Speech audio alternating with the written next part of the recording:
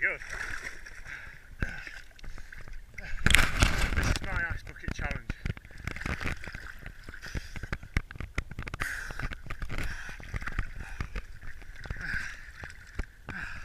With real ice.